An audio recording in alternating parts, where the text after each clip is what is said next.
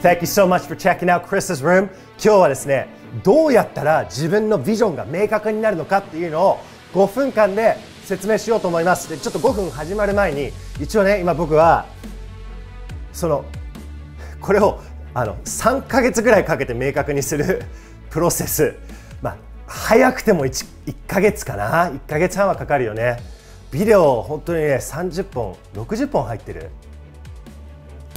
40最低40本多分50本ぐらい近いやつでもう本当に毎日ビデオを見て毎日質問をして本当にその自分の心の中が分かってくるようなプログラムこの Vision プログラムのバージョン2多分来週にビデオの撮影が終わるっていう状態なんですよ。でこれをこの2ヶ月のものを5分で説明しようとします。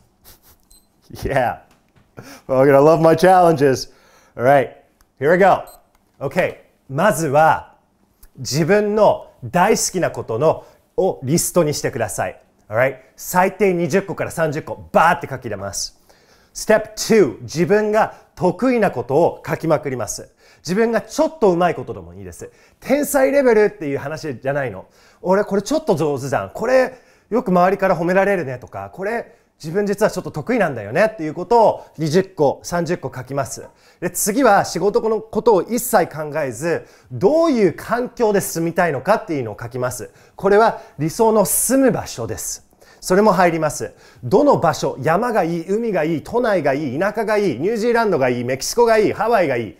もう夢のような住みたいところ、生活したいことを書きまくります。Alright? 今度、理想の週末を考えます。ね？2泊3日とか3泊4日でもう何でもできたらどういう形の週末を行きたいのかっていうのをいくつかのパターンを書きます。で、今度、理想なバカンスを書きます。どのようなバケーションにあなたは行きたいですか ?3 週間、4週間どこでも行けるってなったら。ね？それを考える。Alright? で、今度、ちょっと仕事に戻ります。で、仕事に戻るんだけど、仕事は仕事の環境を考えます。何をやるかっていうのは一切考えず、どういう場所で働きたいのか。例えば、アウトドアガイドみたいな、アウトドアで働きたい人だったら、俺は外で働きたいよ。じゃあどこがいい？茨城県、北海道、オーストラリア、ニュージーランド、ハワイ？ね？いや、事務所で働きたい。じゃあどういう事務所？オープンスペースがいい？このような環境がいい？それから Google みたいなスリーピングポットがある場所がいい？ね、遊園地みたいな楽しい場所がいい？テスラみたいなでっかい工場みたいなスペースのオープンスペースがいい？今度、どういうコミュニケーションをとっている環境がいいのかっていうのも考えます。Alright? だから中には、ね、軍隊とか空手部とか野球部みたいになんか間違ってたら簡単にお前それ違うだろアホクソこれ直せよみたいなちょっと昭和のスタイルが全然問題なくて逆にそっちの方が俺は男だし俺はね女性かもしれないしタフだし楽なんだっていう人もいる。またはいやいやそうやってコミュニケーションを取るんじゃなくて、ね、そんなそれは私にとっては怒ってるっていうのはもう嫌がらせとかパワハラに近いからそういう感じじゃなくてこういう時があった時私はこういうふうに感じたからね、あなたはどう思う？こういうふうにやってくれないかな？みたいなこういう丁寧ようなコミュニケーションで自分の心の中に思ってることがたまらなくて人とコミュニケーションを取り合えてでそのコミュニケーションで自分も成長できる。お互いに仲間も成長できる。でどういう仲間がいいのか？一緒にね俺みたいにみんなで一緒にランチサラダ作ってね卵食べてるチームもあるし一緒に運動とかやってるチームもあるしいやいやそんなの、ね、週末にも、ね、仲間のこと考えたくないしもう仕事だけでいいんです飲み会なんかも行きたくないっていうのもありなんだよねどういう洋服で仕事で働きたいのか。ね、で今度今度この質問を答えるの。もしあなたが宝くじで100億円当たったとします。で、あなたは賢いから50億円をファンドマネージャーに預けて10%のリターンが取れるっていう契約を結んだの。で、必ずあなたには5億円が入ってくるの。で、まず最初あなたはプライベートジェットとか旅行とか行って、もうめちゃくちゃ楽しむのね。でもどうしても年間5億円も入ってくるっていう状態なんですよ。Alright? でも50億円の資産もあるし、ひょっとしたら全部最初の50億円使ってないから、もう結構すごい億万長者なんだよ。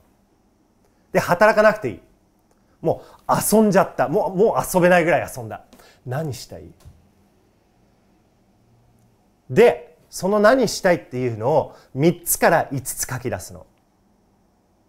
でそれについてなぜそれをやりたいのかっていうのを理由を5つ書く。なぜそれをやりたいのか。でちょっと次のプロセスが39秒で説明できないんだけどその中から一つキュッて絞っていくのね。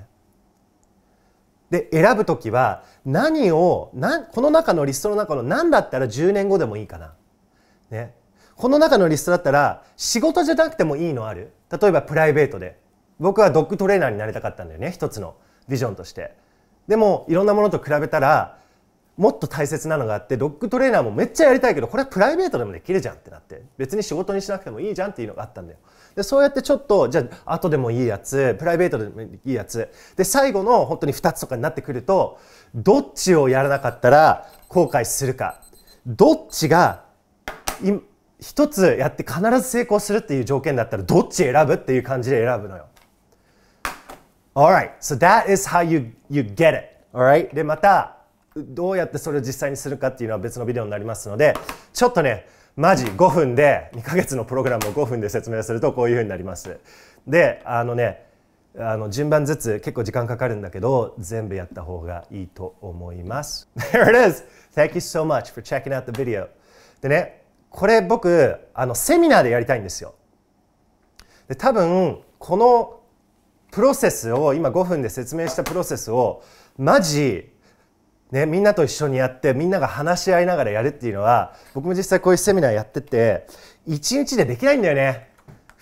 2日かかっちゃうんだよね。うん。でもちょっとね来月やりたいから来たい人ウェブでも多分できると思うんだけどできればライブでやりたいんでやりたい人いたらなんか公式 LINE 僕の LINE なんだっけ？アットクリスアットクリス取れたんだよすごくないやったよね Alright, anyways, LINE で送るか、または YouTube でコメントとかなんかいただければわかるので、助かります。Alright, thank you so much for checking out the video, and I'll see you in the next video.